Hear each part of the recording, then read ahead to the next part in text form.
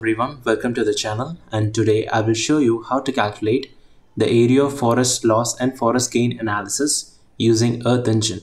So in this specific video we're going to calculate the area area of forest loss and forest gain using earth engine. So to calculate the area of forest loss and forest gain first we have to define our country's boundary layer.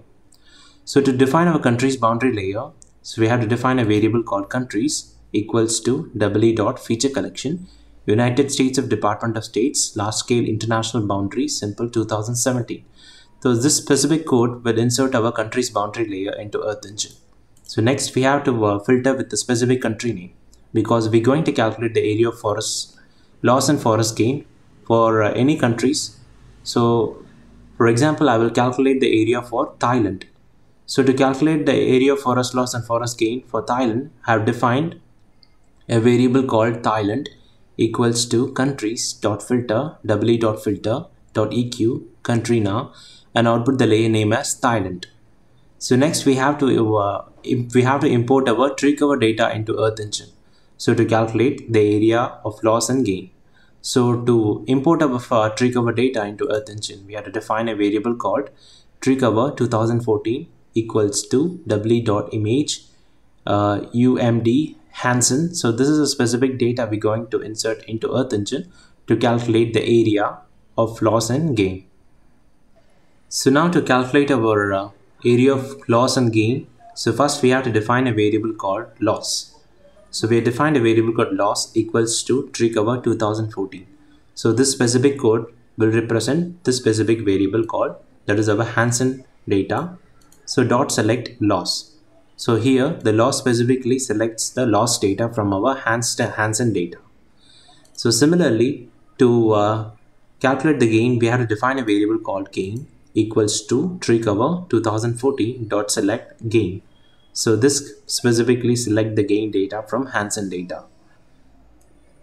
So to next we have to calculate our area of uh, loss and gain of our forest. So to do that we have to define a variable called area loss equals to loss dot multiply. The loss here represents this per specific variable where we are uh, selecting our loss data. So loss into loss multiplying W dot image pixel area. So each of this loss represents a pixel. So we are multiplying our loss data with our pixel to calculate our area. So we are using, we are accessing our loss from loss data from our Hansen and multiplying with image pixel so number of pixels of loss. So in that way we can able to calculate of uh, area of loss. So similarly to calculate the area of gain we defined a variable called area gain equals to gain dot multiply w dot image pixel area. So here the gain represents to access this uh, Hansen data of gain data the amount of gain of forest or a tree cover. So dot we are multiplying with the image pixel area. So number of gain represented in the pixel. So we are multiplying our pixel area. So to calculate our area of gain. So now to calculate the area of loss of pixel in our study area, that is Thailand, we have to define a variable called loss stat. So to calculate the area of loss in uh, loss of forest area, we have to define a variable called loss stat equals to area loss. So area loss here represents this particular variable so where we have calculated the area of our losses, that is loss of tree cover. So this specific function calculates the area of that loss. So we are using a area uh, area loss dot reduce region. So the beauty of reduce region is that it combines all the pixel of that uh, particular study region. So to calculate our uh, area loss, so we defined a variable called loss stat equals to area loss so we are referring to this uh, variable called area loss. So dot reduce region. The function of our reduce region is, is it combines all the pixel of this study region. So that's why we are using reduce region. It combines all the pixel of this of that study region. So next we are defined a reducer. So w dot reducer function dot sum w dot reducer dot sum function so uh, the sum calculates the total uh, area of this uh, of this region that is loss, the area loss region. It calculates total uh, area. So the function of the sum is calculates the total area. So the beauty of this function is that it calculates the total area of our uh, area loss, the forest loss. It calculates that is a tree cover loss. So it sum uh, sum is a function that calculates the total. So here we calculated our total area using this specific function. So here we are summarizing our total area using our sum function. So next we have to specify the geometry of our study region. So we are using our study region as Thailand. So we have to, specify to calculate area and also we are using the study region, Thailand. We have to specify our geometry. So we have to specify our geometry of our study area. So for that we defined geometry, Thailand that is our study area. So dot geometry function. So next we have to uh, define our spatial resolution. So we defined as a scale equals to 30 meters. So the scale that is our scale refers to the spatial resolution of our data. So Hansen data is basically is a byproduct of Landsat uh, Landsat image. So, so it is a byproduct of a Landsat image. So it has a spatial resolution of around 30 meters. So, so, so for that I have defined scale equals to 30. 30 refers to spatial resolution. So next we have to define our max pixel. So we have to uh, define a max pixel because this is the Landsat, A, Landsat uh, data. So it contains a huge amount of data. So in order to perform our analysis safely, so we have to specify a limit for our pixels. So for that we have this uh, limit, we have to specify a limit of our pixels around 1 uh, to the power of 11. So max pixel equals to, it is around 10 power 11. So that is 1 into 10 power 11.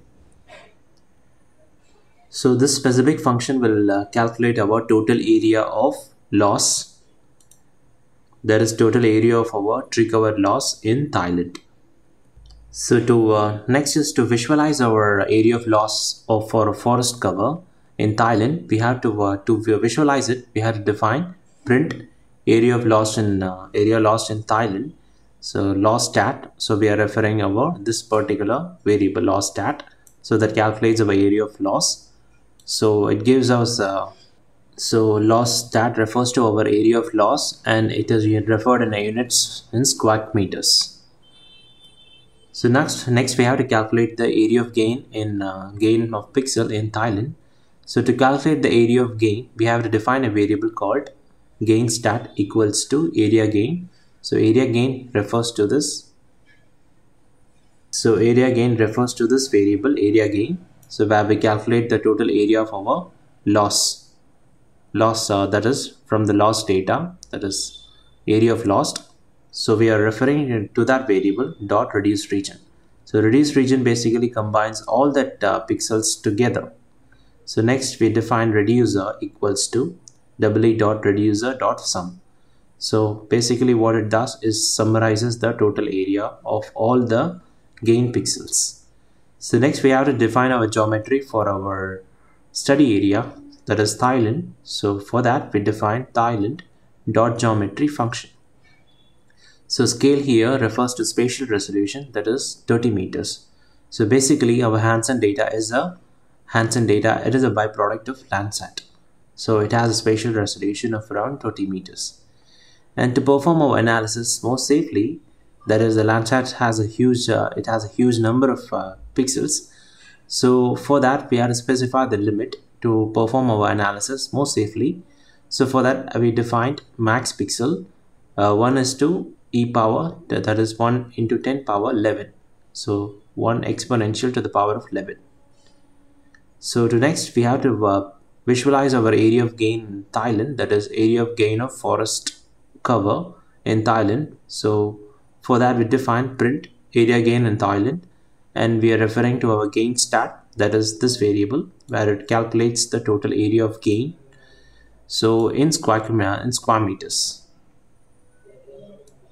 so at last let us display our data. To display our data we have to uh, define map dot center object referring to our Thailand study area with a zoom level of 5 and last map dot add layer referring to our doubly dot image that is our Hansen data. So dot paint Thailand. So dot paint Thailand here refers to our study area with the boundary uh, boundary size so there is this boundary size. With a color palette of black. So output our study area as Thailand. So now we have already calculated the area of the here. Now let me uh, reset this. Now again let me run this. So now it is being loaded here. Now let me reset. Let me run again. So it is the area lost in Thailand that is represented here that is that is in square meters. And similarly the area gain in Thailand that is represented in square meters. So from here you can able to clearly understand that the area of loss that is area of forest cover loss in Thailand is very high compared to the area of gain in forest cover in Thailand. So that is 13 into uh, 13 into 10 power.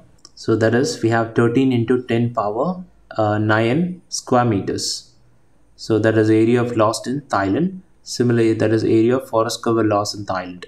So area of gain in Thailand. So we have 49 into 10 power 8 square meters. That is the total area of gain total area of forest cover gain in Thailand. Let me show you the boundary.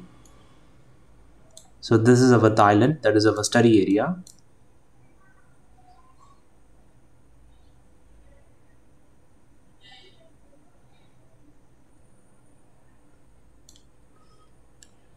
So in this video I have shown you how to calculate the area of forest loss and forest gain analysis for any country of your choice. So I have in this specific video I have selected Thailand as my study area and we have calculated the area of forest cover lost in square meters and area of forest cover gain in Thailand in square meters. So thanks for watching. Please subscribe to our channel and give us a like.